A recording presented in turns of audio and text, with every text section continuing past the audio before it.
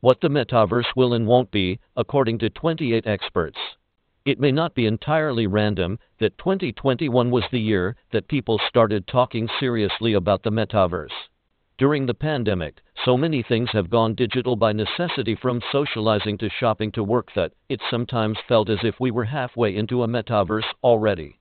Defined loosely, the metaverse is an all digital layer of reality that floats above, around, and throughout the features of the real world, or, in some definitions, is entirely separate for it. What exists right now is a series of embryonic digital spaces, such as Facebook's, Horizon, Epic Games, Fortnite, Roblox's digital space for gaming and game creation, and the blockchain based digital world Decentraland, all of which have clear borders, different rules and objectives, and differing rates of growth but we'll see more experiences beyond your phone, where our whole bodies are fully engaged, and that's where the metaverse starts to get interesting. We genuinely begin to explore and live in these alternate realities simultaneously.